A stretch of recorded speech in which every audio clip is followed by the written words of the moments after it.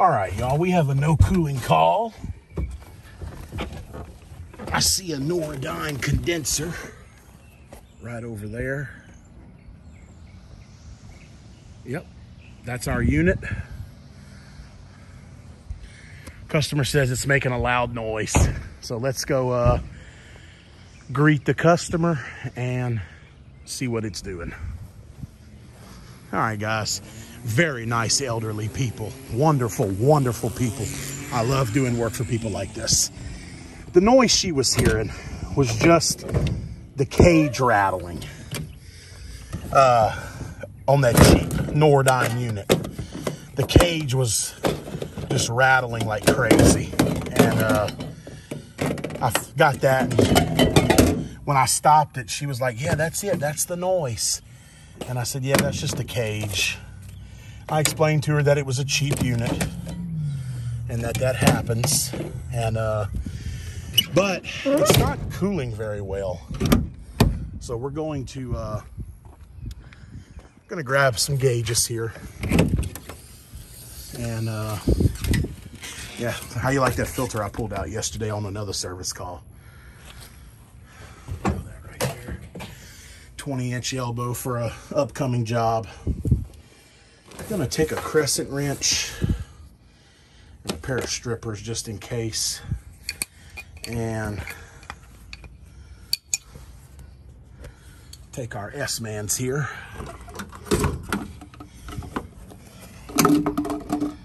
See if I can close this up with one hand. There we go. All right. Take a walk over here it's an R22 dry shipped unit. The indoor system is an American standard gas furnace with an American standard cased coil. I guess the condenser went bad. So they dropped this uh, Gibson Nordyne R22 there. When you saw those tags, that's a dry ship unit. Because if you look at the factory, well, no, it does have a factory charge, but I'm not sure how to tell the year. She said five years ago. So this was definitely a dry ship unit. That dryer looks like it's leaking Freon to me. Big time. So uh, let's get the gauges put on it. All right, I haven't even put the pipe clamps on yet, but you can see we're definitely low on refrigerant. Uh, so we've got a good leak somewhere. That dryer looks like a really good uh, indicator of a leak. So before we go throwing R22 in here and all kind of stuff, we are going to, uh, we're gonna hunt this leak down. It could be on that indoor coil. It's an older American Standard system. I'd say the American Standard indoor system's probably 15 years old. So that it, it yeah, because it's it's actually a piston type American Trane American Standard coil, and Trane and American Standard haven't used pistons on their coils in about 15 years. So we uh, we may do an upgrade on this. We uh, at least the indoor equipment. I'll try to talk them into the outdoor since it is such a cheap product. It could be the micro channel leaking on this thing. Um, yeah, see, we have extremely high superheat. So, uh, even though that suction line is pretty cool, but yeah, we definitely low on charge here.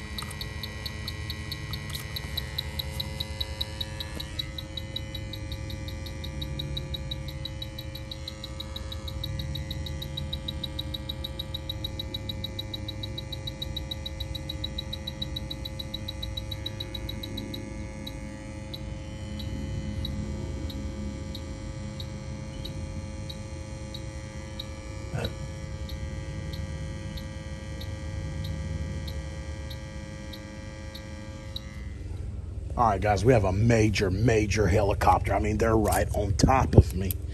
But that dryer is leaking, as you saw in the previous video. I'm gonna take the top off and make sure this micro channel condenser coil is not leaking also to make sure they don't need a whole new condensing unit. The American standard stuff in the closet is in fantastic shape. Um, but they may, and it's made for 410A slash R22. It would just need a piston change. But we know the dryer's leaking, no doubt. But I wanna make sure this micro channel is not leaking too before I just replace a dryer and leave a leaking condenser coil. So I'm gonna grab my drill and we're gonna do that. All right, guys. Well, I wasn't able to film the leak search, but down here in the bottom corner, it's actually more over here from the from the inside of the unit. The leak detector was going crazy from about here all the way up to here. Just a big old oil stain and a huge leak. And then this is where the leak detector was going off on the dryer. I think it was going off under this paint you can just see the condition that this dryer's in. So we are, you can tell by the way I've got the copper cut loose. My, uh, my other guy that works with me, uh, I do have a full-time technician. Well, he's the same guy that's been with me for a year. I've, tra I've been training him. He is uh, picking up a new condenser and he's headed this way. And uh, we're going with a Comfortmaker condenser because this pad is only 32 by 32. On a three ton Rheem, you can get away with a 36 by 36 pad, but it's it's very snug. But being that this is a 32 by 32 pad, a Rheem would overlap this con well, this concrete slab. You can see how you can see how nice and thick her pad is, and the Rheem would hang off on both sides. That's the only bad thing about the new Rheems is they're so wide. So uh, he had a, I, uh, my supplier had a I, uh, ICP Comfortmaker in stock, so the Comfortmaker will fit on here, so that's what we're gonna go with. I've already got everything disconnected, and uh, we're just waiting on my guy to get here with the new unit. All right, guys, I'm sorry I didn't get more video, but this is the final product. The Gibson is gone and the Comfortmaker has taken over.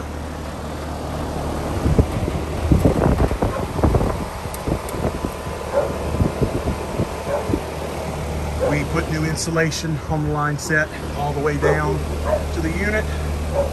It looks good and it's cooling well.